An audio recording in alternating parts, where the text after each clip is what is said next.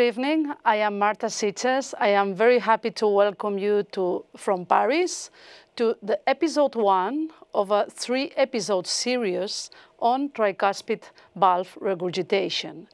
Today, we will focus on the natural history and prognosis of tricuspid uh, valve disease. Why should you attend this program?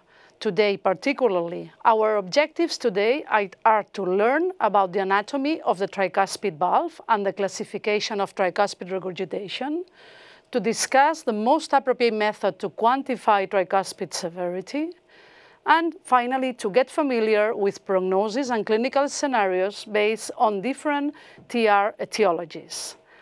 To this aim, I have the pleasure to share uh, here today with a big, fantastic team here in Paris with Dr. Fabien Praz, interventional cardiologist from Switzerland, uh, Professor Marco Metra, uh, heart failure specialist from Italy, uh, Professor Rebecca Hahn from New York, uh, good morning there, and also our remote speakers from Tel Aviv, Dr. Jan Topilsky, uh, Denisa Muraru from Italy, and also from France, Erwan Donal. Welcome you all and welcome to all the audience.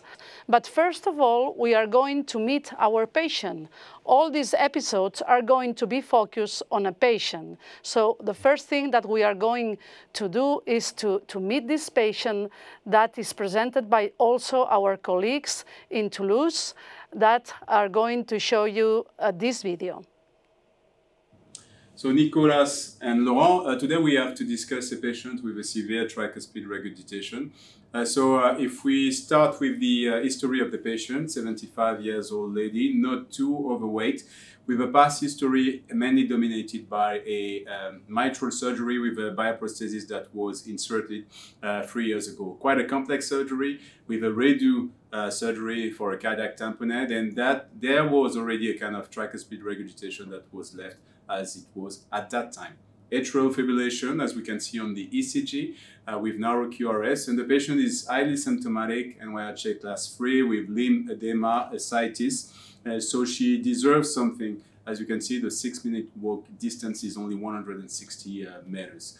So a couple of uh, laboratory uh, investigation just to uh, highlight the fact that the renal function is mildly impaired the liver function is normal, high proBNP, and in terms of medications, the treatment is adequate with a high diuretic dosage and that oral anticoagulant for the atrial fibrillation. Uh, so Laurent, uh, if we come to the echo assessment, there are very uh, important findings for this lady. Okay, in echo, the LV is not dilated, the ejection fraction is at 47%. The mitral bioprosthesis uh, is uh, okay with mean gradient 5 and no uh, MR. She doesn't have significant aortic valve disease. Right ventricle is uh, moderately dilated with a, a, moderate impairment in the RV because TAPSE is around 15 millimeters with a severe secondary tricuspid regurgitation. Uh, she has moderate uh, hypertension, uh, pulmonary hypertension at 49 millimeters of mercury. And uh, she has severe secondary tricuspid regurgitation according to the different uh, uh quantification. EROA is at uh, 0.7 and vena contracta 9 millimeters, and the uh, tricuspid annulus is mildly dilated at 42 millimeters. Okay, a few images of the echo. You can see the severity of the tricuspid regurgitation. On the second image, uh, you have the um, transgastric view, and you can see that you have TR all along the septal leaflet in the anteroseptal and posteroseptal commissure. And we can expect a few difficulties in, in this patient because of the shadow uh, linked to the uh, presence of the mitral valve. So as you can see on the right part of the image, the shadow makes that it's difficult to see the septal leaflet. Yeah, we can see that. And Nico, so um, as part of the assessment are the angio and the hemodynamics of this uh, patient? Yeah, nothing remarkable on the coronary angiogram and right heart catheterization just shows elevated uh, wedge pulmonary uh, capillary pressure related to the past history of left-sided valve uh, disease and moderately impaired LV function. Uh, no severe pulmonary hypertension and uh, a severe um, consequence of the TR on the right atrial pressure. On the CT scan, we confirm the, the dimensions, the assessment of the dimensions of LV, RV cavity. What is noticeable is the angulation between inferior vena cava and tricuspid annulus, and the quite small dimension of uh, a right ventricle. And uh, this uh, will be incorporated in our um, thinking about the solution we could offer to this patient. So if we go uh, to the risk scores, high risk patient, Euroscore uh, logistic above 20%, Euroscore 2 close to 10%, STS score close to 7%, so definitely a high risk patient. So if we want to summarize, uh, these are the key clinical data and angiographic reference of this patient. So 70 years old female with a past history of mitral bioprosthesis, highly symptomatic, uh, related to a severe uh, functional uh, tricuspid regurgitation we have the matrix of the uh, left ventricular and right ventricular function. And so I guess it's time for discussion uh, about this patient. So fantastic presentation from the team in Toulouse. So we have already met our patient that we will follow during the workout of these three episodes. Dr. Professor Metra, what do you think? What, what, what should we propose? What should we, how should we manage this lady? What do you think? It's uh, very nice, interesting, and uh, I would say also a, a very good clinical case. Uh, for some reasons. First, he had the mitral valve surgery, but uh, because of the surgical procedures, uh, uh the, the, tricuspid regurgitation, which was already present, uh, was not treated at the time of surgery.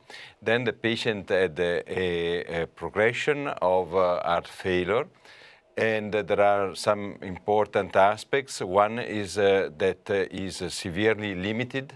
Uh, the six-minute walk test distance was very low and uh, he had severe symptoms. He needed high doses of diuretics, which is uh, a, a, poor prognostic sign in the patients with heart failure. On the other hand, his uh, uh, air renal function was uh, still uh, uh, relatively preserved, above 50 ml per minute of uh, glomerular filtration rate, and liver function was still preserved. So it's probably a perfect time for an intervention because you may prevent organ dysfunction, which is then uh, the, the, the main cause of the progression and lack of reversibility of heart failure. I agree. I agree, uh, Marco, completely with the assessment. And you know, I think the clinical evaluation is the first thing, uh, one of the most important. It has to be symptomatic with heart, uh, right heart failure and uh, previous hospitalization maybe as well.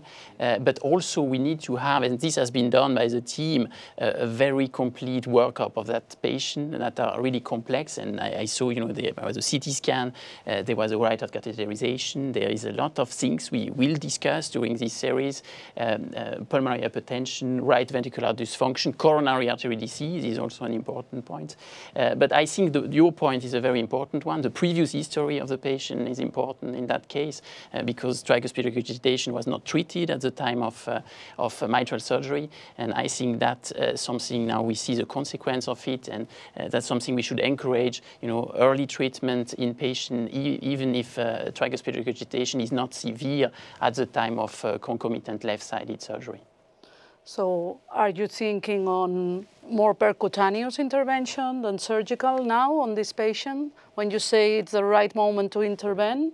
Uh, the patient uh, was is having a high risk for surgery, so I, I, I would, uh, I mean, of course, I mean, all the discussion must be done uh, by the team uh, with the cardiac surgeons, but uh, I, I think that because of the age and the, the, the, severity of also uh, heart disease uh, and, uh, and also some degree of pulmonary hypertension and right ventricular dysfunction. And we will come back to this probably, uh, but uh, the, the, percutaneous intervention is, uh, is better for, for this patient. But again, it depends on the people gathering together and what they think. Okay, let's learn a little bit more on the prognosis, on the prevalence prognosis of uh, tricuspid regurgitation. And for this, we have a fantastic speaker who is Jan Topilsky that has six minutes to teach us a little bit more on what we have learned from his and others' studies on this topic. Jan, the floor is yours. Thank you, Marta. So we have six minutes to talk about the prevalence and uh, distribution of TR. The first study to look at that was the Framingham Heart Study, and they found that the prevalence of significant TR, which is more than moderate, was 0.8%, increasing with age and much greater in women. We've repeated that in the Olmsted County database in Mayo Clinic uh, several years ago, and we show that indeed the prevalence of TR increases with age. You can see that above 75 years old, it's around 4% of the population. But for the US adjusted uh, burden, we're talking about 0.6% prevalence of TR, which is around 2 million Americans. And it's also similar to severe aortic stenosis, so a, very common disease. Uh, you can see here in the graph in orange, that's the prevalence of TR increasing with age, compared in blue to the prevalence of all left valvular diseases. And again, as I said, TR is as common as AS. We're talking about severe TR. We also looked at the, at the distribution of etiologies of severe TR in the community and found that the most common reason is TR related to left valvular disease, mostly mitral, but also there's a significant contribution of what we call isolated TR. You can see that it's 8% of the patients. And these are patients that have functional TR with normal pulmonary pressure no left valvular disease, and normal LV and systolic and diastolic function. Nowadays, we know there are usually because of right atrial uh, dilatation. What is the outcome of untreated TR? So the first one to look at that was uh, Messika-Zeitoun, and that was uh, like 20 years ago. And this is a very interesting group because flail TR usually is traumatic TR, so we know the exact date that TR started. And you can see here on the left that there's excess mortality. And you can see in the right panel that when RV is dilated, mortality increases significantly. But of course, functional TR is much more important. And this is our paper several years ago looking at the isolated TR. Again, an interesting group because they don't have any other cardiac comorbidity and no systemic comorbidities. And you can see that in green, when ERO is above 0.4, there's excess mortality even if the patients are in sinus rhythm and even if they're asymptomatic.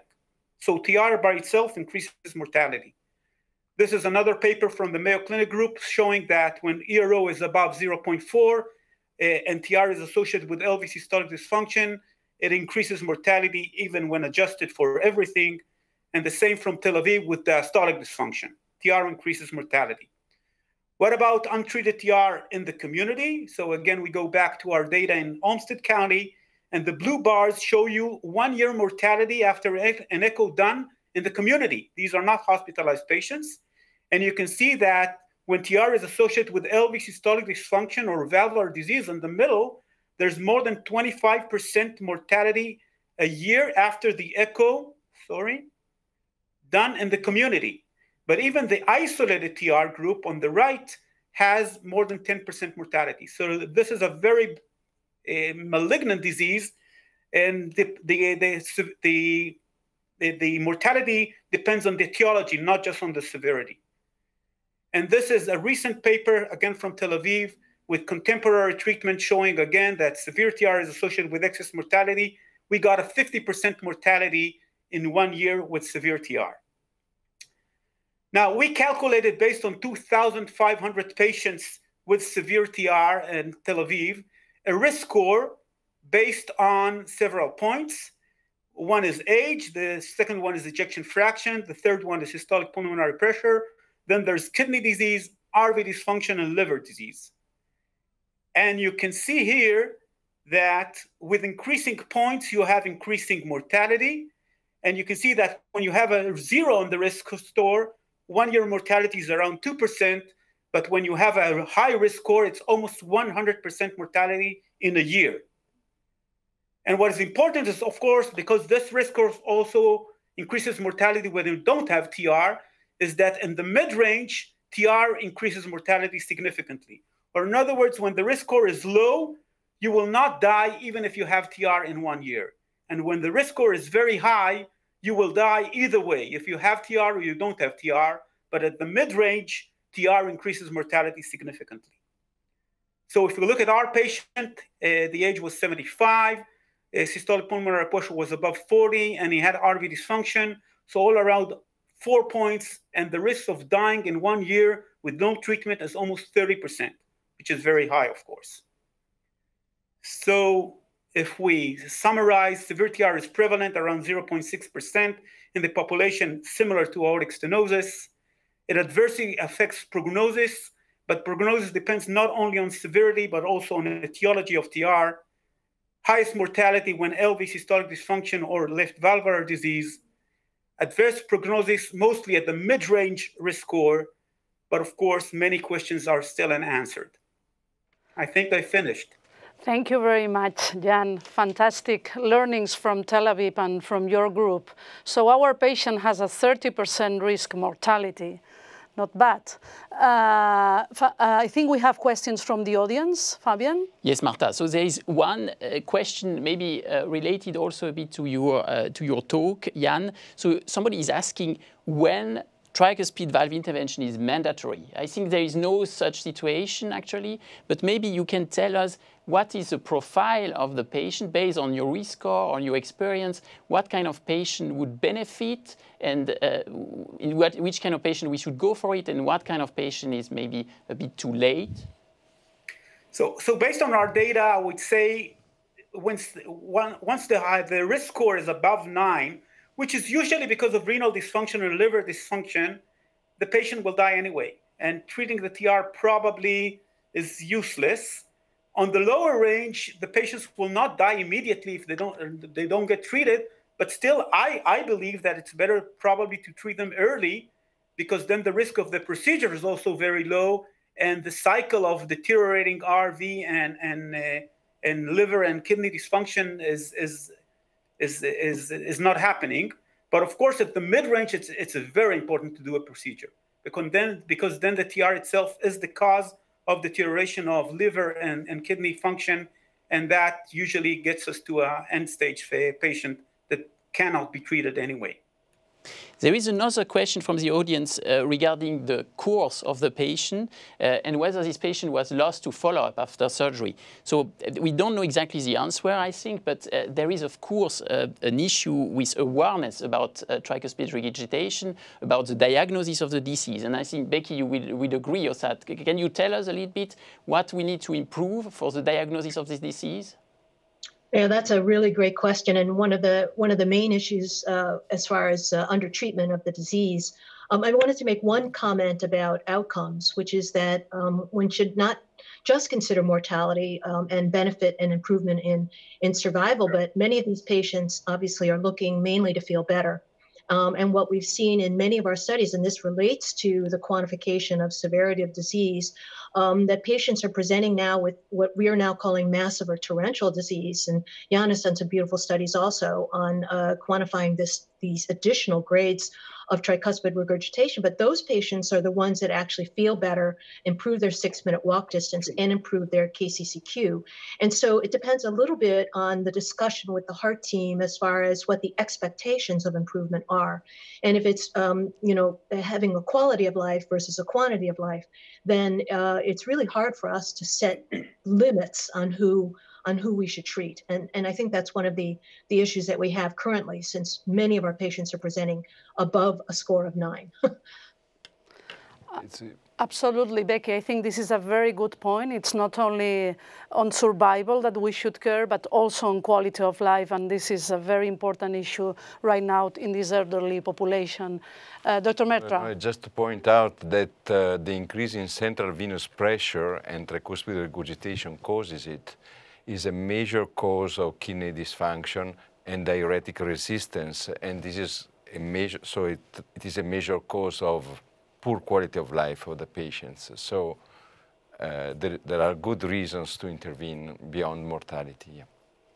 So I think we have our first consensus, at least here. so we would be uh, more in favor of intervening, interventing, uh, indicating intervention on, on this patient. Uh, we will further discuss which type of intervention. Uh, I think another, if you have more questions, uh, but I think another issue that we have learned a lot and, did, and that needs to be clarified is a little bit on the functional anatomy and the classification of tricuspid regurgitation. As you know, the tricuspid valve has been forgotten for many years, and also from the uh, anatomical uh, and even imaging point of view, it has been not been well classified.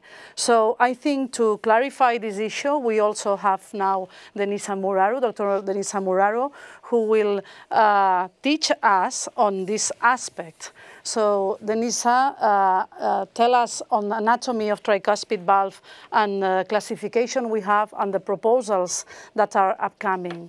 The floor is yours, Denisa. Thank you very much, Marta, and uh, good evening, uh, everyone. It's a great pleasure to be part of this webinar. So indeed, as you said, um, the tricuspid valve has been neglected uh, for years. And uh, in the current era of expanded transcatheter procedures to treat the tricuspid valve, it's uh, uh, we have a need to better understand the anatomy and the functional interplay between the different components of the tricuspid valve apparatus.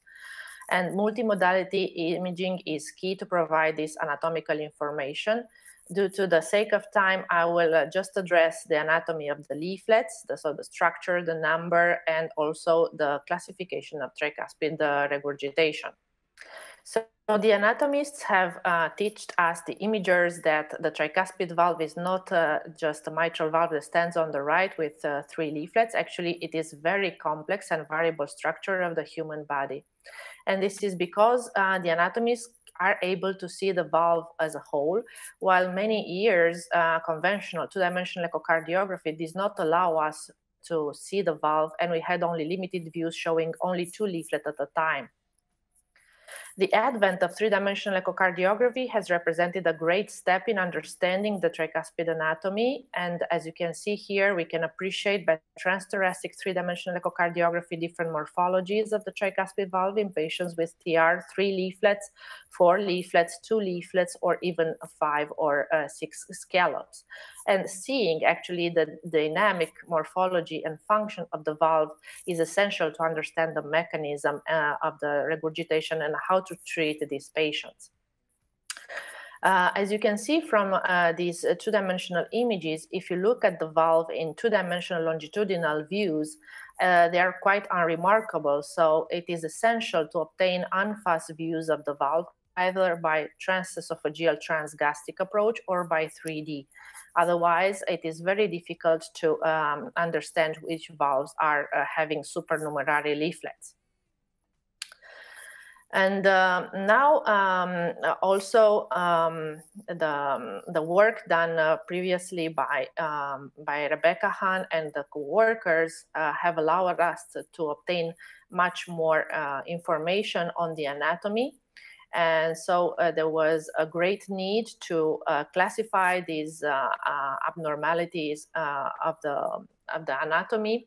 And the work done by Rebecca has shown that there are actually four types of uh, tricuspid valve. from one to four, and the most frequent morphology is the one having four leaflets and with two posterior. Um, actually, when you look at, um, at uh, the valve with a three-dimensional echocardiography, you are able to appreciate uh, several uh, anatomical details that might change the interventional approach. For instance, um, these complex valves may have a complex shaped orifice as represented in this slide. So depending on the position of the cut-in plane, uh, the uh, coaptation gap may be highly variable and also there might be more uh, difficult to quantify using single plane measurements. Regarding the classification of the tricuspid regurgitation based on leaflet abnormalities, uh, by far it's most frequent the secondary type. And the recent guidelines have identified, as Jan was saying, the isolated or secondary TR, which is an exclusion diagnosis because it excludes all other known causes of uh, uh, functional TR. These are patients that have a very uh, unique uh, phenotype, having very small right ventricles, very large right atrium, and they have minimal tethering and dilated annulus. Therefore, at the moment, uh, the proposed classification by the tricuspid um, PCR focus group is to have uh, three uh, categories of tricuspid regurgitation in which on the functional or secondary category, there is uh, the clear distinction between the atrial and the ventricular form, which uh, both correspond to either Carpentier type 1 and Carpentier type 3B. Uh, and as you can see uh, here, also the one related to the catheter or the devices on the right heart should be listed separately because the management and the outcome of these patients are completely different than the primary one. So I hope that this brief presentation has addressed some of the issues will be helpful to assess our patient. Thank you. Thank you very much, Denisa. I, I, think this was very nice. And we have also Becky that uh, proposed this classification and maybe wants to add something on this issue, particularly on the implications of this anatomy for treatment, for example, on the outcomes. Yeah, no, thank you so much. Yeah, our, our, our, our feeling was that we needed to be able to identify the leaflet morphology uh, primarily because of the TEER devices, transcatheter edge-to-edge repair devices. Um, obviously, if you have three leaflets versus having five leaflets, um, your procedural pre, procedural planning changes a lot. Um, and uh, we already have one study that shows perhaps technical success is a little bit lower uh, if you have anything other than a, a three leaflet uh, valve. So the four leaflet valves tend to have a little bit lower technical success, but the uh, otherwise the hard outcomes of, of survival seem to be the same. But there are other papers that, that will come out, and obviously we have randomized studies now uh, looking at the TEER devices, and uh, we will be able to evaluate the actual uh, technical and procedural success against uh, hard outcomes as well in the future. Um, but also just knowing where those uh, commissures are makes a difference also for our transcatheter replacement devices. So right now, the only device in, uh, in pivotal trial is the EVOQUE device, and it has nine anchors that need to be placed, positioned um, underneath the annulus and capture the leaflets. And obviously, the more commissures you have, the more difficult it is to actually be underneath a leaflet. Um, and so we do believe that that kind of morphology is going to play a role in um, the device choice, but also uh, device planning. So keep, keep us posted on the upcoming news. Uh, Fabien, do you have a question from the audience? Question from the audience. Very interesting one. Do you see trauma causing tri tricuspid valve dysfunction in real life practice? Maybe for you, Denisa. Is trauma yes. also a reason for TR? Yes, absolutely. We had uh, several cases of trauma. Unfortunately, these patients might not get recognized at the moment of trauma and they may present very late after 20, 30 years. And we had a very nice case that actually seemed to be functional because it was a very uh, advanced stage but uh, and uh, the flail was uh, difficult to recognize into the images. So yes, we, we see those, especially the anterior leaflet is the most affected because of the position in the chest. Then another question for you, Becky, it's a difficult one. Is there a cutoff for the right ventricle size, basal diameter, to, uh, to uh, undergo intervention? Yeah, well, that's uh, uh, yeah. Oh, sorry, my lights just went up. But um, yeah, it's a uh, it's a um, uh, an interesting question. So we don't yet really understand. You know, uh, they're probably coming from uh, the MITRA-FR versus coapt and the size of the of the LV. Undoubtedly, there'll be there'll be some parameters that we'll end up using for RV um, dimension and size. We do we uh, dimension and, and function, uh, but we don't know what those are yet. Um, we also know that the RV happens to be a very plastic side. It, it, it can recover. So we have patients who have um, severe uh, pulmonary hypertension undergo a lung transplant, the RV looks terrible and then it recovers completely. So um, we, we just don't know yet on the right ventricular side. We're trying to figure out um, how big, uh, uh how much tethering, is it the base of the ventricle or is it the mid ventricle where the papillary muscles are attached? Um, is that the more important measurement? And then for function, there's just so many different ways that we can measure function and we just don't know what will be predictive of long-term outcomes as well as recovery. Marco, you had a very nice study on the, the, the, importance of right ventricular function in patients with mitral regurgitation. So what do you think? There is no limit? We can treat all these patients or there is a futility? Well, it's, uh, mitral regurgitation is one thing, another thing is tricuspid. And uh, yes, in, in, um, we analyzed the patients without the COAPT criteria, and among them, right ventricular dysfunction was one of the major uh, prognostic uh, variable uh, together with uh, hemodynamic, with clinical instability and a, a, low ejection fraction. But for sure, right ventricular dysfunction is a major driver of the outcome of the patients undergoing mitral valve procedures.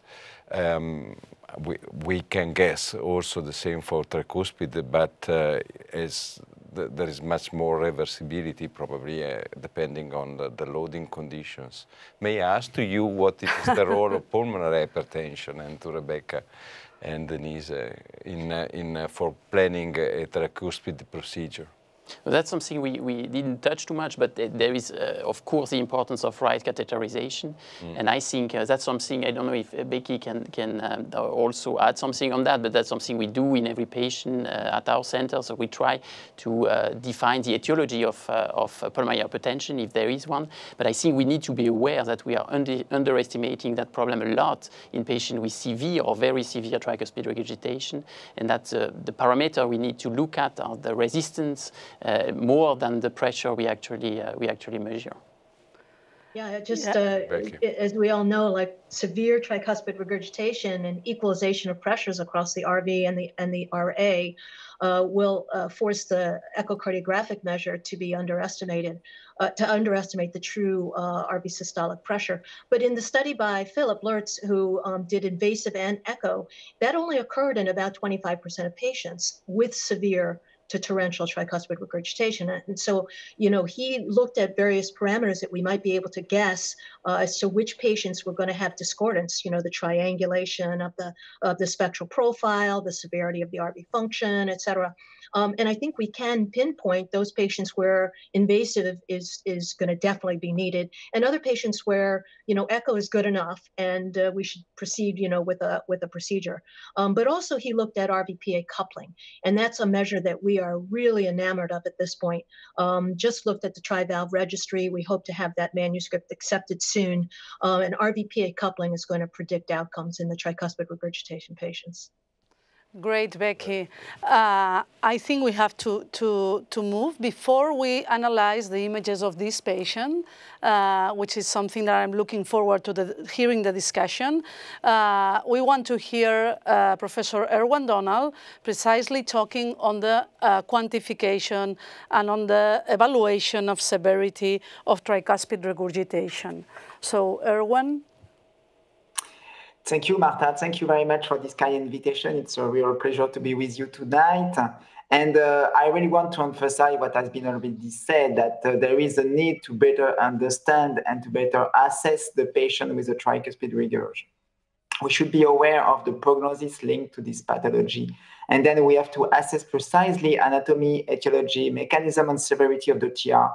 And we shouldn't forget about the consequences of the TR on the RV chambers. And then I would like to emphasize that we have to use TTE, transthoracic echo, to assess the size and the function of the right ventricle as well as the right atrium. It's important to look at the size, despite the fact that we don't know about the cutoff values, but it's also important to assess precisely the function of the right ventricle. I will come back to that. Uh, and just to emphasize this point about the RV function, perhaps the size is not that important according to the ongoing studies, but the function is key. And then we have to use the TAPSE, the S prime, the, the change in area over time, but we have to use also the strain data set. it seems in several studies that the strain of the RV is quite important to assess if you want to understand better about the RV function in patients with TR. And then we also have to assess the annulus of the tricuspid valve. It's very important to look at these diameters in parasternal as well as in apical views in TTE. We can use these fancy tools that can be uh, applied to transthoracic echo and transesophageal echo. But over the size, we also have to look at the geometry of the tricuspid annulus. And it's very important to use these tools to better understand if there is a flattering of the tricuspid annulus or not. And it will help us to understand what will happen afterwards. And then, as I said, we have to look at the anatomy of the tricuspid valve. It has been mentioned by Denisa. We have to look at the mechanism of the TR, the severity. I will come back to that. But as it has been mentioned just before, we have to assess precisely the pulmonary pressure. And for the assessment of the tricuspid valve, we can have this uh, figure in mind. It's quite important to remind uh, that we, when we will have to treat the patient, if we use clips, we will consider the clipping of the anterior and the septal leaflet first. And then we will have to decide if we implant a clip on the posterior and the septal leaflet or not. So usually we start by the septal and the anterior. We can also um, put another one on the anterior and the septal, or we can also look at the posterior and the septal leaflets. And then we have to assess very precisely the anatomy. And the key point is that we shouldn't forget about the transgastric view. The transgastric view is fundamental to assess the anatomy of the tricuspid valve. So make sure that you get a perfect transgastric view if you want to assess the tricuspid valve and if you want to treat this tricuspid valve. And then you know that the anterior leaflet is the longest one, the septal leaflet is the shortest one, and the more the most apical one. And the posterior leaflet is the more com complicated to assess because most of the time we have multiple scallops, and it's very complicated to understand where it stopped and when it starts. And Denisa told us about this important classification distinguishing the atrial TR, but also the TR that is related to the pacemaker leads. And it's important to understand when we have a pacemaker leads, where are the leads, uh, where if there is a link between the tricuspid regurg and the leads crossing the tricuspid valve. And then we use the TTE, the 2D and the, the, the 3D TTE, as it has been mentioned by Denisa, because it's very convenient to use the 3D TTE to understand the anatomy of the leaflets. We shouldn't forget about the parasternal views we shouldn't look only at the, apical views, but we have to assess precisely the leaflets using the parasternal views also. And of course, we will use the transesophageal approach. And this transesophageal approach, it's important to see the gaps, to quantify also the TR, and to plan the intervention. We will use the biplane mode, the 3D mode, and we shouldn't forget, as I told you already, about the transgastric view. And then we will quantify the regurg. And if we want to quantify the regurg, we have to make sure that we quantif quantify the regurg in a patient, oh, sorry, in a patient that has been treated optimally. It means that you shouldn't, if I can go back, Yes, we shouldn't assess the severity of a TR in a patient that is too overloaded. So optimize the diuretics first and then quantify the TR. And when we want to quantify the TR, you have to keep in mind that if you want to uh, assess after the treatment, the result of your treatment, you have to get a five grade classification. You have to distinguish the torrential and the massive TR because it can be something that impact the prognosis of your patient. And of course, there is no magic number, no magic number. You have to measure several parameters, at least the vena contracta and the regurgitant orifice area. You have to assess the vena contracta by 2D and by 3D if you can, and you shouldn't forget about all the quantitative parameters that you can assess to better to make sure that you understand the, the severity of the TR. Be aware that when the TR is laminar, it, it could be difficult to make sure that there is a severe TR. But if the TR is laminar, you have a huge gap between the leaflets. And if there is a huge gap between the leaflets, the TR is probably torrential. So you have to be careful and look very precisely at the leaflets before that you open the color mode. So you use the color mode, of course, but you look at the leaflets first. And you use all the views that you have in TTE and TEE to assess this tricuspid valve. And you shouldn't forget about the continuous Doppler. If you have this triangulation, triangulation story uh, of the continuous Doppler with this velocity that is below 2.5, you probably have a torrential TR. So it's very simple. And then I, I have to finish my talk. And um, I really want to emphasize the TEE. The TEE is a bit different from the TEE we use in the other pathology. We will use the mid-TEE, the mid-esophagus TEE, but we have also to assess in biplane the patient in deep TEE. It's more easy, it's easier to assess the tricuspid valve if you are deep in the esophagus. And as I told you already, don't forget about the transgastric view and use the biplane mode. And it has been mentioned already, you have to quantify the uh, pulmonary pressure. Echo is very nice, but it's not always perfect.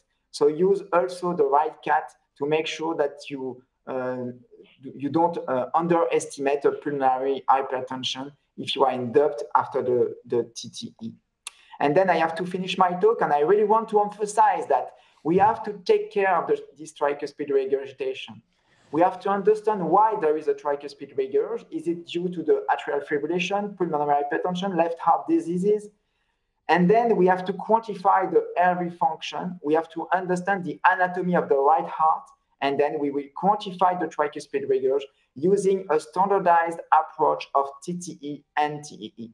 Thank you very much. Thank you very much. Thank you very much, everyone, for keeping in time. So we have many questions for you, but we have lots of questions from the audience that we will try to respond. Uh, Fabien. Uh, so, Erwan, you, you answered uh -huh. already a lot of questions, but there, there are more. The, the people are very interested. So uh, they ask about the concept of proportionality for uh, tricuspid regurgitation. So are you a believer or not? wow, it's a, it's a tough question, actually.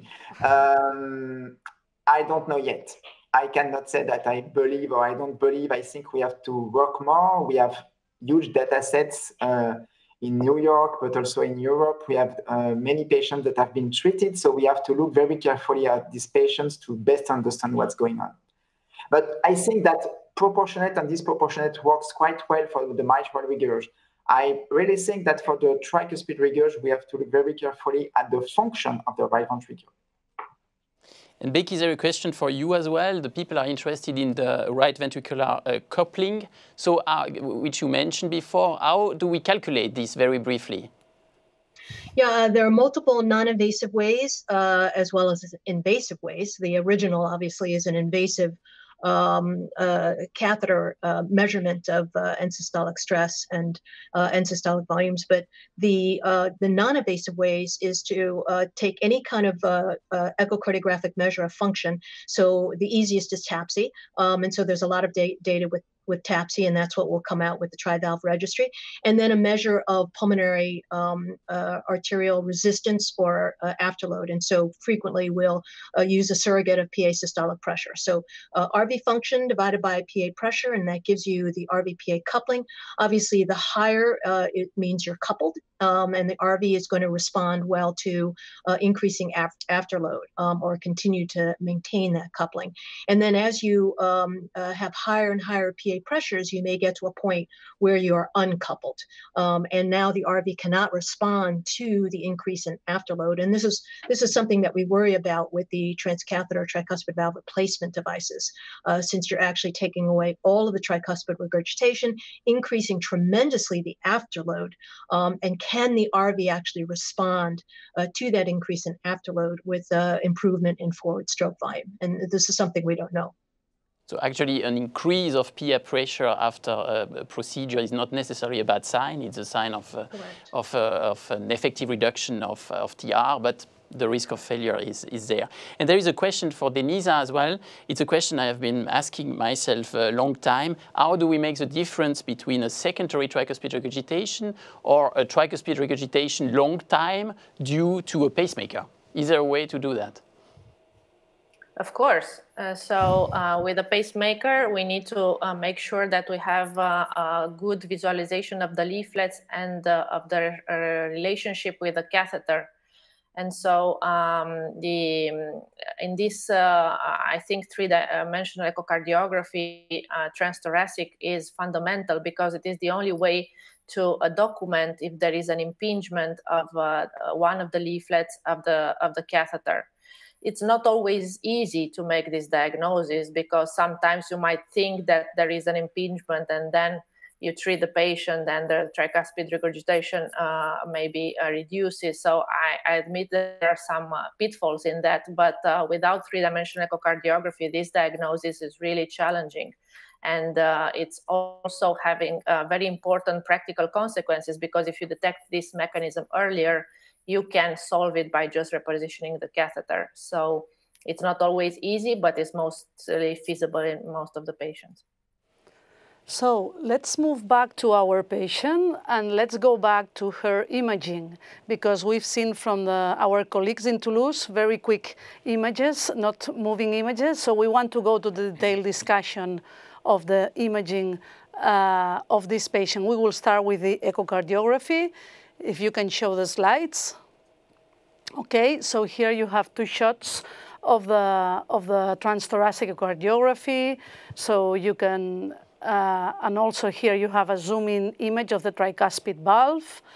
Uh, I'm showing this to have the discussion later on. So here is how we could assess PISA and vena contracta. So this is the transesophageal four chamber views uh, where you can see same image, black and white and color with uh, severe tricuspid regurgitation, the measurement of the annulus. We can discuss that later on with all the team. And we have here the biplane images that Erwan was uh, asking us to use from uh, the, the, what we call intercommissural or RV inflow-outflow view because we see the inflow and the outflow of the right ventricle and we are cutting in the more anterior aspect of the tricuspid valve. Here uh, in this one in the mid part of the valve, and we can see here the, the PISA of the tricuspid regurgitation indicating that the origin of the jet is quite central. We go to the transgastric, sorry, this was very quick. Let me go back to. We'll have to move forward, the measurement of the gap here. We have the 3D view there with color, so we can see a central orifice, regurgitant orifice, and the color coming from there. And from here, I would like to open the discussion with Becky, uh, Denisa, Erwan, Jan, whoever wants to join our discussion. And the first thing I would like to discuss is on the quantification with the PISA and all the other issues that you want to raise.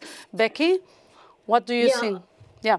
Yeah, I think uh, the the imaging was quite beautiful with the PISA, and you can see that um, in this slow mo, you know, slow motion um, frame by frame look at the PISA, how temporally variable the PISA is. And so one of the problems that we have is that the guidelines use PISA as the primary method of quantitation of the regurgitant orifice. And there are so many pitfalls. This is one of them. Um, and you can see the change in the radius um, over the course of systole uh, with the little graph on the far right. But in addition, um, if leaflets are tethered or with a stellate shaped opening, all of the uh, assumptions of the PISA, which would be of a circular hole and a flat surface, um, are not fulfilled. And therefore, um, PISA has a lot of problems with quantifying accurately um, the actual regurgitant orifice. And that's why we've gone to using quantitative Doppler and three dimensional vena contracta area. So, so you could uh, go more in favor as kind of not the only, but kind of the most perfect or less bad uh, parameter, the 3D vena contracta, no, Becky?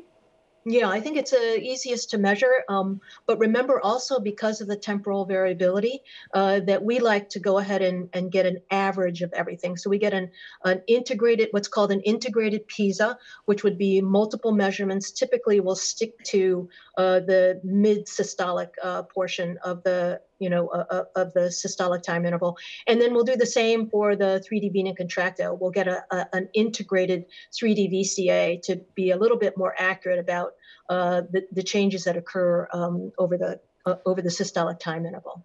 Fantastic. Unfortunately, we didn't have the transgastric, but we have this nice MPR from the colleagues from Toulouse. So if you, if you want to comment on the morphology and maybe on the gap uh, that you can see here on the MPR, and maybe Denisa also wants to comment on this. I yeah, think you had this slide, yeah. yeah, so um, uh, it looked to me like it was going to be a quadricuspid valve, and um, that perhaps uh, there, there could feasibly be two landing zones. Um, um, but if uh, they aim to, to get P1 to septal, uh, then uh, that may be that may get you a good result with a single device.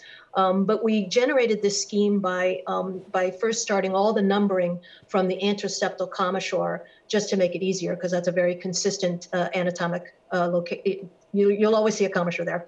Um, and then uh, to um, uh, identify the anterior papillary muscle to differentiate posterior from anterior. And then from there, it's just, you know, what's connected to the septum and what's not connected to the septum um, as far as the septal leaflet. Um, and that's why I think this is a quadricuspid, um, but uh, interested to hear what Denisa says. Yeah, Becky, you're right. And I think you showed very elegantly in your paper that it's very important to use color Doppler either in transgastric or 3D to be uh, sure about the morphology because you never uh, can say 100% sure in uh, just 2D uh, or 3D slices.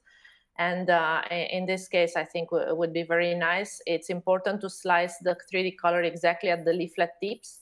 And so therefore 3D could, uh, could help.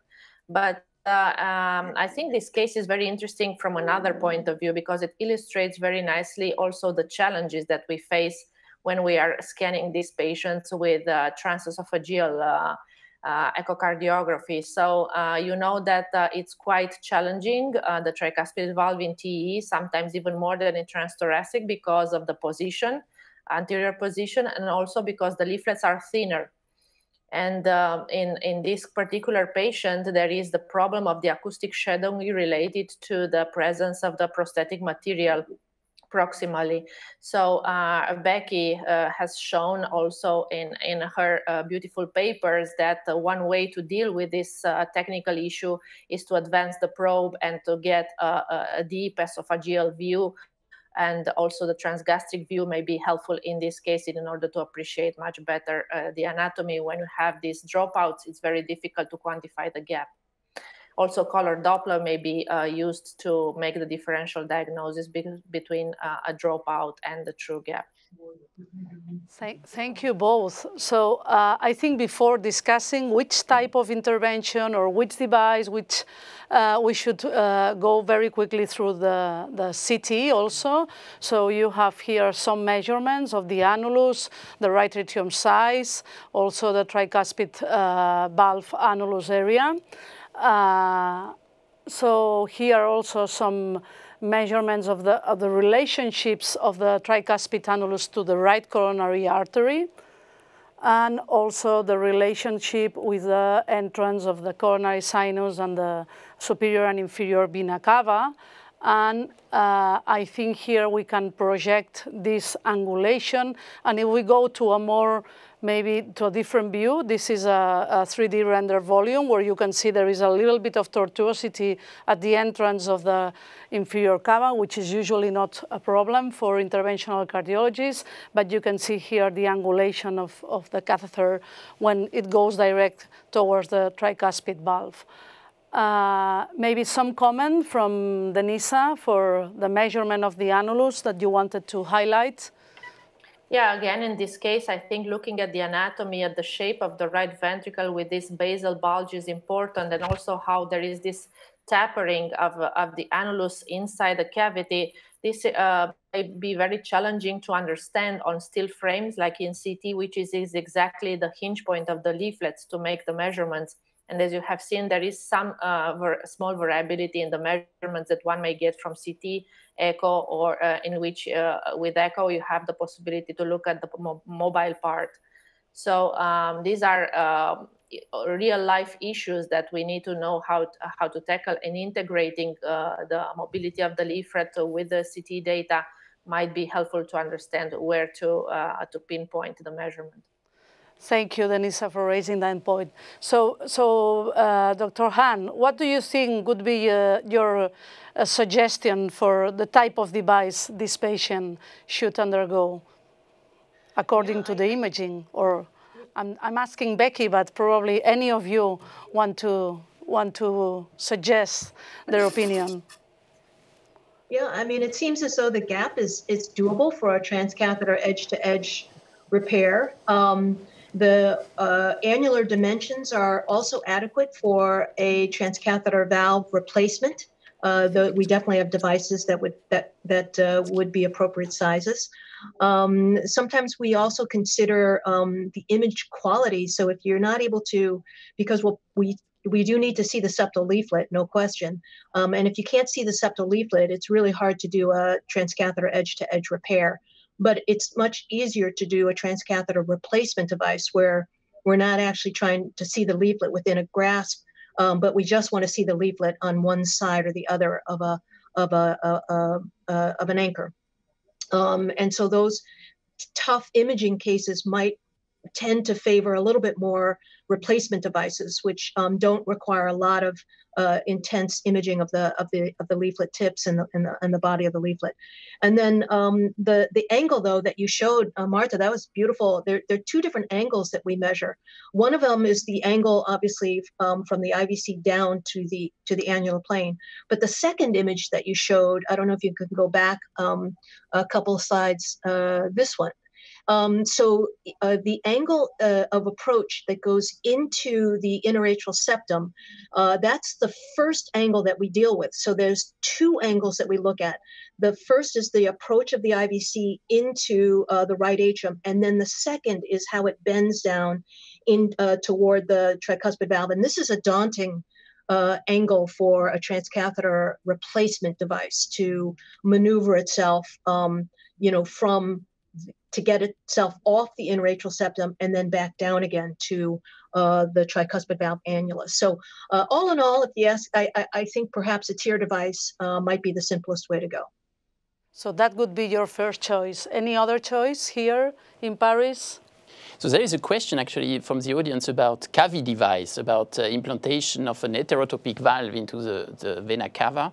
And I think, you know, in, in that situation, uh, probably the patient, as uh, Marco mentioned as well, uh, is probably not um, advanced enough uh, to, to have this, this, treatment probably, and, and the treatment that will uh, repair the valve and improve cardiac output is probably a better way to, to approach this patient at that time um, with that anatomy. There is also a question for you, Marco. Uh, in a patient with uh, unsolved left-sided uh, disease, would you treat TR, or is it something you would not do? with the perfect mitral valve. so mitral valve already done.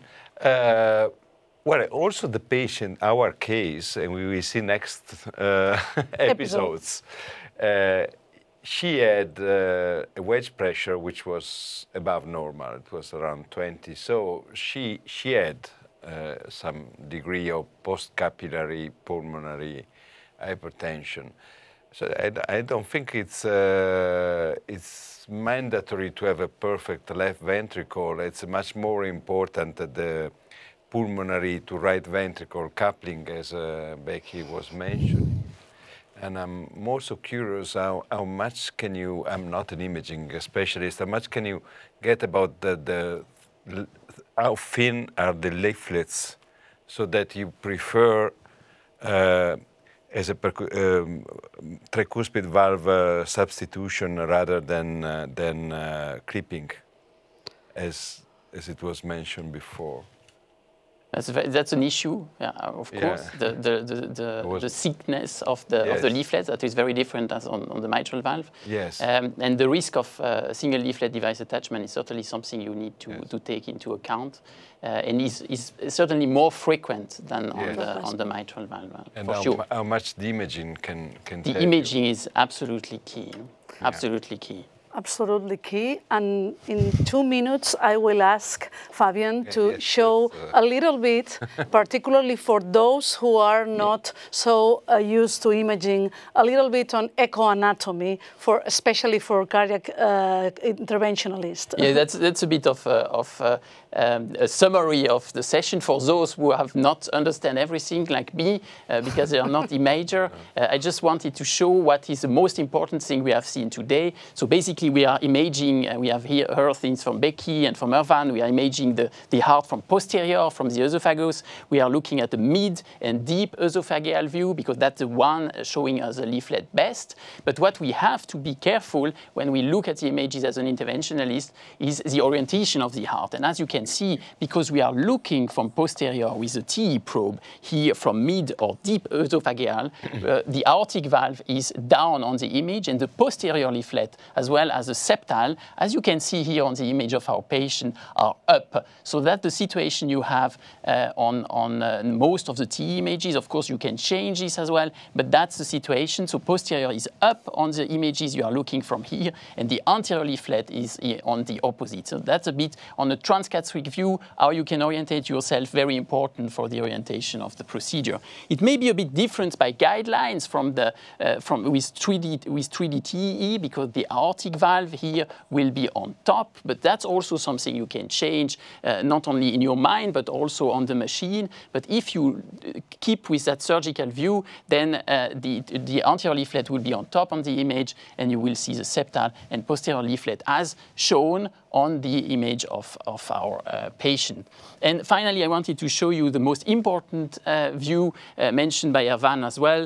Uh, it's RVOT in view for grasping. And in that view, if you place an X plane on that, you will ask your imager to place an X plane anteriorly towards the aortic valve. Then you will, you will visualize the septal leaflet here and the anterior leaflet here uh, so that you know uh, what, which leaflet you are grasping. And if you move then the X plane, then posteriorly away from the aortic valve, then you will image the septal and the posterior leaflet. There is a lot of variation, but that's basically uh, what you can see as an interventionalist when you are looking at the images uh, produced by your uh, echo team.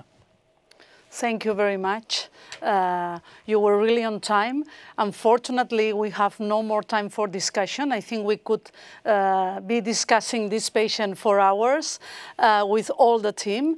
But I just want you to summarize, to wrap up, uh, reminding that we have a patient, lady 75 years old, severe TR, with a pro, uh, uh, poor prognosis, mortality estimated by Dr. Topilsky 30% high surgical risk, and we have looked through the images we have discussed, and the consensus here is that this patient could have an intervention to improve her prognosis, and that this intervention should be percutaneous and probably the first choice should be uh, transcatheter edge-to-edge repair. This is our opinion, uh, but we don't know what's going to happen. So if you want to know what's going to happen with this patient, please join us again in the upcoming second episode on tricuspid regurgitation on next October 19th.